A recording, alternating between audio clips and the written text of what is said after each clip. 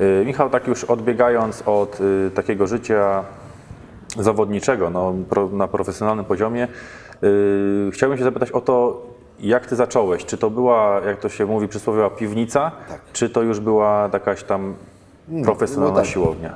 Nie, nie, bo ja już mówiłem o tym nagrywając nieraz e, odcinki tam pod, w ramach KFD, czy tam jeszcze wcześniej dla Active Labu. Mój ojciec był w ogóle przerażony, że, że, że ja takie rzeczy robię, jakieś, jakieś siłowe rzeczy, tak? Bo mnie, moja rodzina była generalnie usportowiona. Ja już mówiłem taką anegdotkę z roku 98, bo nigdy tego nie zapomnę, to ja miałem ile w 98? Z 13 lat? Nie, z 14? I były Mistrzostwa Świata we Francji wtedy. I wszyscy siedzieli przed telewizorem. Mój brat z moim ojcem, z wujkiem, rozumiesz, w drugim pokoju tam się wydzierali, bo Polska grała, a ja, ja stary siedziałem w drugim pokoju.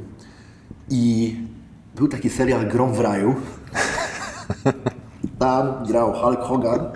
Jakieś, uwielbiałem wrestling oglądać. Tam na Polsacie dwa razy w tygodniu był. I ten Hulk Hogan mi tak imponował, człowieku. On mi tak imponował. I ja pamiętam, ojciec miał takie sprężyny gimnastyczne. One nie były na gumie, tylko to były po prostu Tak. sprężyny jeszcze, takie, które jak za mocno rozciągnąłeś, to się urywały. I waliły. I waliły w łeb, ja wiesz, pocięty chodziłem, jakiś prawie popek, który jest na dole. To też pewnie będziemy jakieś tam filmiki z nim nagrywać. E, No i ja te sprężyny giąłem w lewo i w prawo, aż one się wyrobiły po prostu. Ojciec miał Skodę 120, to był luksus w tamtych czasach.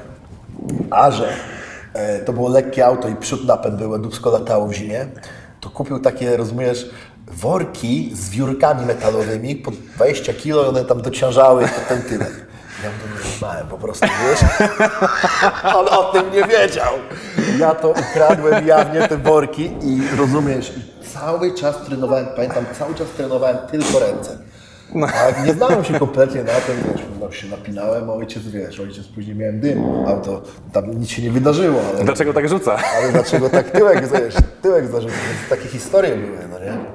E, No a potem co, no potem się y, zobaczył ojciec, że tam jest potencjał, bo sam był lekkoatletą, a sam dźwigał przez jakiś czas, tylko w takich kategoriach muszych, bo to jest szczupły facet, ale świetny technicznie był.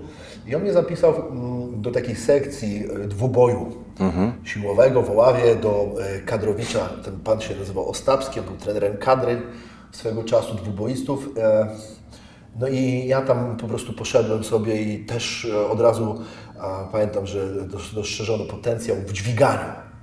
Tak, ale mi się to nie podobało, wiesz, bo tam ciągle nogi, ciągi nogi, ciągi nogi, pozrywa, podarte miałem piszczele, No tak. fioletowe miałem obojczyki i rąk nie mówią robić, rozumiesz?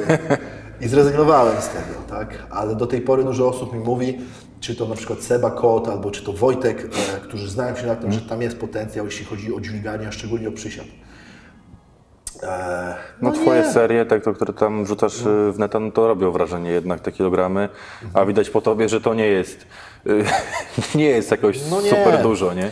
Kiedyś tak z Radkiem Słodkiewiczem rozmawiałem, on Radek mi, mi mówił, że ja naprawdę, jakbym się skupił na dźwiganiu, to tam by było e, grubo, można powiedzieć, ale bo mm, wiesz, do tej pory nie miałem żadnej kontuzji, nic mnie nie boli. To po co ci to? nie? Tak, e, i, i z jednej strony, no po co wywołać wilka z lasu, a dwa, no nie kręci mnie to.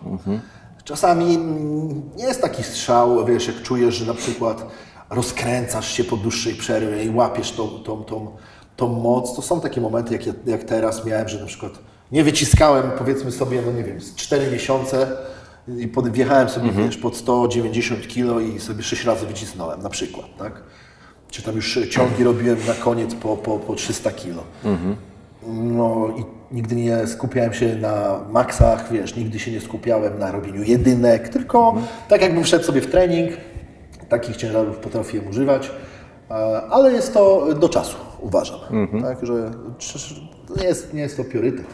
Aczkolwiek zauważyłem, że jednak duży, klamoty, powiedzmy sobie, wolne i takie ciężkie treningi, no to, to jest jednak to. To jest jednak to, tego moim zdaniem żadne maszyny tego nie, Jest ta, ta wyprą. dojrzałość mięśnia, nawet waskularyzacja, nie? To Grubość też dzięki temu mięśnia, Taka, tak, tak, tak. to wszystko wychodzi. Wypracowane jest. No. Michał, już tak, y, już y, idąc do kompletnie innego tematu, ale takiego bardzo gorącego, o tym chcę, y, chciałbym, żebyś powiedział, bo rynek trenerów personalnych no, jest przesycony na pewno.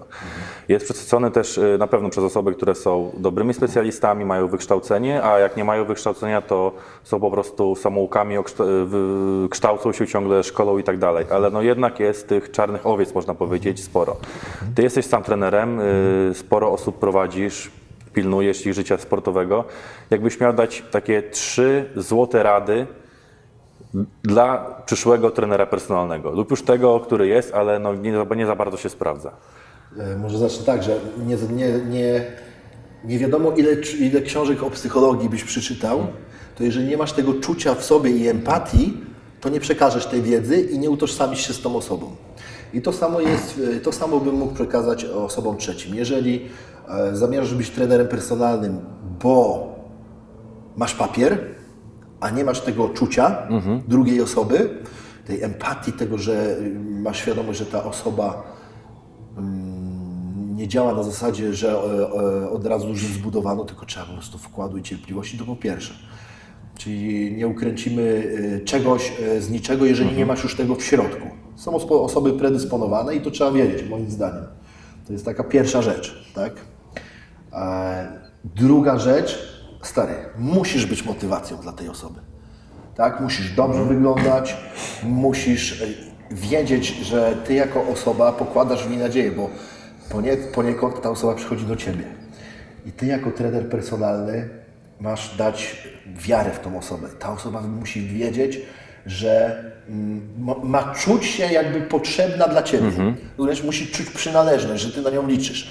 Więc trzeba mieć też takie cechy, które spowodują to, że, ta, że będziesz dla tej, osoby, dla tej osoby motywacją i taką opieką. Bo są różne mm, przypadłości, jeśli chodzi o osoby, które chcą ze sobą zrobić porządek. I są osoby ciapowate, które się rozklejają, które mówią, że nie dadzą rady i wtedy nie możesz powiedzieć, że jesteś frajer. No, tak? no właśnie. Bo on, to słyszał, bo on to słyszał całe życie prawdopodobnie, dlatego do Ciebie przyszedł. Tak? Bo ludzie przychodzą do trenerów personalnych nie, nie często po to, bo oni chcą mieć 10 kilo w dół. Tam jest taki, wiesz, Coś bardziej w środku. cel gdzieś jest, nie? bo nie może kobiety znaleźć, bo, bo wstydzi się swojego wyglądu i przez to mu nie idzie, tak? bo w pracy się z niej uśmiewa. Trzeba bardzo, moim zdaniem, wnikliwie poznać tą osobę. No to dwa, to trzeba być taką motywacją i taką, powiedzmy sobie, Trochę też psychologiem jakby do tej osoby, no nie? poniekąd tak. Ja powiem Ci jeden przykład. Ja mam, mam, mam, mam, takiego, e, mam takiego podopiecznego. Wszedłem z nim w układ. On ma 15 lat. Tak? No jest powiedzmy sobie mm, trudnym przypadkiem. Tak? Maruda. Powiedziałem mu, jest zakochany jest w autach, tak? I chciał e, się przejechać Hammerem. To ja powiedziałem, Wojtek, nie ma problemu. Przez miesiąc, codziennie rano i codziennie wieczorem robisz po 50 pompek i wysyłasz mi filmiki. Ja po Ciebie wtedy przyjeżdżam tym Hammerem, nie dość, że się przyjedziemy, to Cię jeszcze podwiozę do szkoły, żeby wszyscy wiedzieli. Rozumiesz? I on przez ten 10, e, przez ten miesiąc codziennie walił te pompki, wysyłał mi na Messengerze filmiki, jak pompuje. Przyszedł dzień, także ja mu powiedziałem, jak zrobisz to, to będziesz gościem, będę, ja wtedy Ci też wyjdę naprzeciw, zrobię coś dla Ciebie. I go zawiozłem, rozumiesz, do tej szkoły. Chłopak jest w niebo wzięty, czyli ja mu dałem po prostu zadanie, on, on poczuł, że aha, jest facet, któremu zależy na mnie, poczuł się przynależny i ta współpraca się wtedy fajnie bardzo układa. Nie? No to jest To dobra jest motywacja. Dobra motywacja. E, A trzecia rzecz, puf, myślę, że chyba już tych dwóch już dużo, dużo zawarłem. No, no, trzeba moim zdaniem uważać, że nikt nie jest mistrzem od razu. Ja też nie byłem mistrzem od razu. A, I dużo ludzi się zniechęca, jeżeli, ja zauważyłem takie coś u trenerów personalnych, bo trenerzy personalni cyganią. Tak, bo trzeba sianko zarobić. To nie o to chodzi. Sianko sobie zarobisz też, ale nie tracąc, powiedzmy sobie, nie wiem, nie, szargując, nie szargając sobie e, opinii. I ja, ja widzę taką rzecz, że trenerzy jak chcą pozyskać klienta, to strasznie go gnoją na początku. Wyobraź sobie, co z tobą będzie za 4 lata, jak będziesz dalej się tak prowadził. Stary, to buta nie zawiążesz, będziesz miał taki brzuch. Nie? Robią mu pomiary składu ciała i mówią, człowieku, przecież ty zaraz będziesz miał zawał. Nie powinieneś żyć w ogóle. No tak, bo tam masz tusz wiceralny 10. I bardzo często jak facet siedzi tak i jest otwarty na rozmowę to, i rozmawia z tym trenerem, powiedzmy sobie przyszedł z takim brzuszkiem i ma tą motywację, to po takiej gadce takiego trenera osła. Sposób, już jest tak, już jest podstawa zamknięta, już nie ma współpracy. To nie o to chodzi, to raczej trzeba się strzelić, pokazać empatię, powiedzieć, że ty też to zrobiłeś e, latami, tak, że się też potykasz, nawet będąc mistrzem, że ci się nie chce, masz w dupie, że chcesz podjeść. No ja czasami też tak robię, że każę, że każę wysyłać sobie raporty, albo ktoś jest u mnie, powiedzmy sobie, na tłuszczówce, na ketozie i dostaje ode mnie paseczki do siusiania, tak, żeby go sprawdzać, czy czasami nie podjada. Nie? No, Mam, takie, mam, mam tego typu e, patenty. Daję różne zadania klientom tak, podczas, albo e, dzwonię wcześniej i mówię, człowieku, dzisiaj cię dojadę. Dzisiaj cię tak dojadę, ty się weź lepiej przygotuj. No oni przy, przychodzą, wiesz, już wczoraj rozmawiałem z moją e, dziewczyną o tym, że każdy, te- każda osoba, która ze mną trenuje jako e, na zasadzie face to face, nie chodzi o online, to ja bardziej chyba już przychodzę dla nich. No. Rozumiesz, bo tak się lubimy na tych treningach, jest taka chemia, że nie dość, jest dużo śmiechu, jest dobra praca wykonana, to się po, poznajemy i oni mi mogą pomóc w różnych sytuacjach, także ja im mogę pomóc, wiesz, Pewnie. stomatolog, prawnik, człowieku, To gdzieś się tam na- napędza. No i masz y, przy okazji y, kontakty i tak dalej? Okej, i Michał, na koniec powiedz mi, wymień proszę, ulubione ćwiczenie na każdą z partii. Po, U mnie? Tak, po kolei. Takie, taka twoja po prostu perełka, jeżeli no to, jest taka. to od razu mówię, y, klatka piersiowa, ławka, ławka płaska, no kocham, uwielbiam. E? Najsze, najszerszy grzbietu, ściąganie wąskiego drążka wyciągu w ten Mhm. sposób. Uwielbiam, świetne mam czucie. A, Pompki na poręczach, na triceps, to, to na pewno. A, Co do tego dochodzi, łapy, łapy, łapy, łapy. Modlitewnik jednorącz, Mhm. bardzo lubię. Nogi, suwnica, wyciskanie nogami, Ale pion czy taka 45 stopni? 45 stopni. Jakie mamy barki? Tak. Barki, to powiedzmy sobie, lubię przyatakować, yy, yy, robiąc podciąganie do brody, ale w szerokim chwycie. Aha. Tak, czyli No, no, no. To jest to, tak? Co, ty, co tam jeszcze mamy? Brzuch? Brzuch, Coś robisz? alachy. Czyli tak, Alachy albo deskę. Tak Mhm. wam powiem szczerze, że od momentu robienia deski a ustały mi także jakieś takie pobolewania, powiedzmy sobie, mm, nie jakieś chroniczne, ale takie, jakie kiedyś miałem na przykład y, po dłuższym leżeniu albo po dłuższym Mhm. siedzeniu. Czyli jak tą myślówkę głęboką się wzmacnia głupią deską, a ja ją robiłem codziennie przez jakiś czas, tam trzy razy po 40 sekund. Nie dość, że ten brzuch był bardziej wciągnięty, bo Mhm. ja czasami mam z nim, z nim problem, tam, tam gadałem jakieś głupoty o panboizmie i tak dalej, bo on jest raz bardziej wydęty, a Mhm. na zawodach na przykład nie jest. Wow, czyli panboizm się jednak cofa. cud. Cud. E, także fajna rzecz nawet pod tym, pod tym kątem. Nie? To, Mhm. to, to tyle chyba. Łydek nie robię, No, przed ramion, przed ramion nie, ro, nie robię. No to, to tyle. Ja taką pozwolę sobie anegdotę opowiedzieć. Y, Na debiutach, nie wiem, to chyba był 2015 rok, leżałem przed sceną, leżałem, odwróciłem głowę i zobaczyłem coś dużego. To była twoja łydka, nie? I byłem, to, był, to był po prostu moment, kiedy byłem mocno w szoku. Tak. No i gdzieś te, ta, ta zajawka gdzieś tam jeszcze mocniej się zaszczepiła. No, no mam zakaz robienia tych, tych łydek, wiesz, Piotr powiedział, żeby ich nie tykać, ja je robię na miesiąc przed zawodami, tak, żeby je tylko podciąć, żeby one jakiejś jakości nabrały.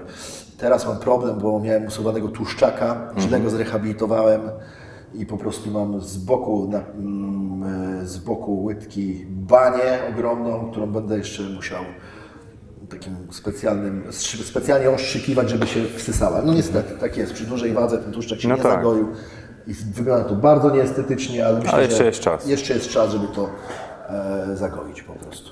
No, Okej, Michał, zwieńczeniem zawsze jest złożenie autografu przez gwiazdę, czyli dzisiaj przez ciebie, na fi- firmowej koszulce, którą potem przekażemy w ręce Wośpu.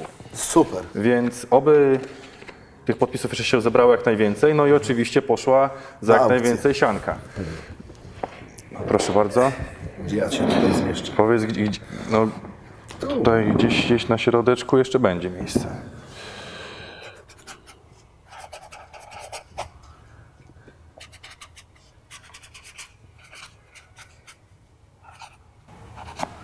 Okej. Słuchaj, bardzo Ci dziękujemy. Widzimy się na treningu, także powodzenia w przyszłych startach i do zobaczyska. Dzięki wielkie. Dzięki, było bardzo miło.